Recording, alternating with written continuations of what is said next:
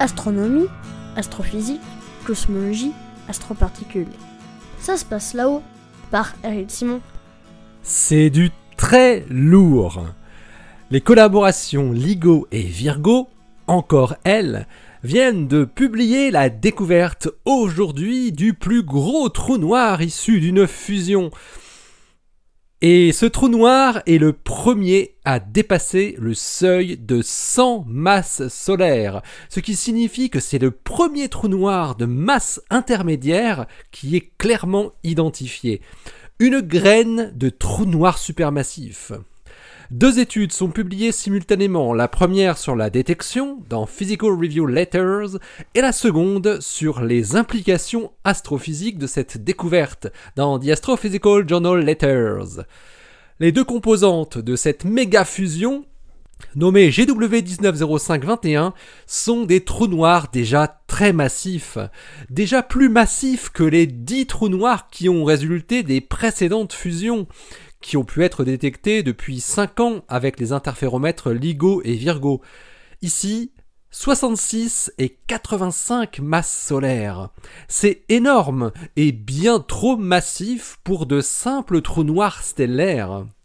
Le trou noir résultant fait la bagatelle de 142 masses solaires, ce qui signifie, si vous le faites la différence, que l'énergie emportée par les ondes gravitationnelles de cette coalescence est égale à l'énergie de masse de 8 soleils du jamais vu. C'est le train d'onde gravitationnel le plus énergétique jamais observé. Et ce train d'onde a été très bref, au contraire des signaux détectés jusque-là. Il n'a duré qu'un dixième de seconde.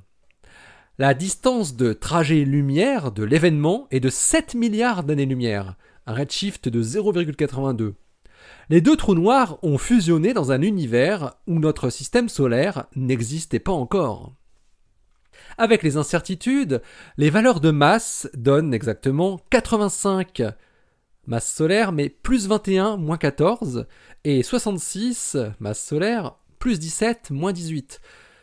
Pour une masse résiduelle, donc égale à 142 masses solaires, avec une incertitude de plus 28 et moins 16.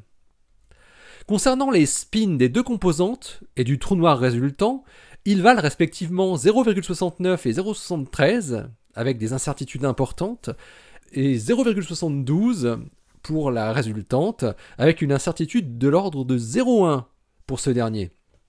Ce qui est une bonne précision pour le trou noir résultant de plus de 140 masses solaires. Les trous noirs dits de masse intermédiaire sont ceux qui font entre 100 et 10 000 masses solaires.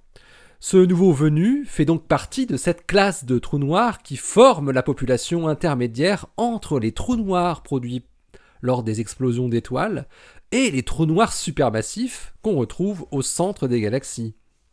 L'effondrement d'une étoile, même très massive, ne peut pas produire un trou noir de 85 masses solaires. Il existe en effet une zone de masse interdite, théoriquement, que les spécialistes appellent un mass gap, situé entre 65 et 135 masses solaires. Au-dessus de 135 masses solaires, c'est possible, par le processus d'effondrement direct de l'étoile, de produire un trou noir. Mais entre 65 et 135 masses solaires, le phénomène d'instabilité de paire, qui perturbe fortement l'effondrement gravitationnel par un emballement de la production de photons gamma via la création de paires électrons-positrons, empêche la création d'un trou noir par une accélération des fusions thermonucléaires. L'existence de l'un de ces deux trous noirs faisant 85 masses solaires est donc une belle preuve qu'il doit provenir d'une fusion de trous noirs antérieurs. Et on peut penser que son compagnon, situé à la limite hein, de 65 masses solaires, avait la même origine. GW190521 montre donc deux découvertes majeures en un seul événement. Primo, la détection formelle d'un trou noir de masse intermédiaire, et secondo, la détection d'un trou noir dans la plage de masse interdite. Alors les deux scénarios proposés pour expliquer l'existence d'un tel système binaire de trous noirs fait appel pour le premier au collapse quand même de deux étoiles qui vivaient ensemble auparavant, mais comme on l'a vu, cela nécessiterait de revoir fortement nos modèles théoriques du fonctionnement des étoiles et des supernovas. Les chercheurs indiquent qu'en modifiant le taux d'une seule réaction nucléaire, c'est-à-dire en la, diminuant, la réaction nucléaire qui transforme par fusion du carbone 12 en oxygène 16, la limite supérieure de la zone de masse interdite pourrait être relevée suffisamment pour entrevoir la possibilité d'un trou noir de 85 masses solaires. Certes. Le second scénario, sans doute plus probable, propose donc qu'au moins le trou noir de 85 masses solaires soit lui-même le produit d'une fusion de deux trous noirs plus petits. Dans ce cas, le système binaire formé du trou noir de 85 masses solaires et du trou noir de 66 masses solaires se serait formé par interaction gravitationnelle. Ce second scénario semble préféré mais pas encore complètement définitif dans les études des collaborations de physiciens et astrophysiciens. Car les axes de rotation des deux trous noirs ont pu être déduits du signal des ondes gravitationnelles, et ils apparaissent tous les deux désalignés par rapport à la perpendiculaire au plan de l'orbite du couple, et leur orbite serait affectée d'une précession. Or, c'est ce qui est attendu dans le cas d'une capture gravitationnelle au contraire d'un ancien couple d'étoiles qui aurait dû lui euh, montrer un alignement des deux spins. Alors il y a encore mieux.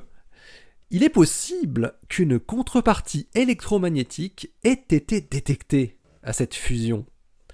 Le télescope du Zwicky Transient Facility a en effet détecté une éruption soudaine en provenance de la même région où a été observé GW 190521.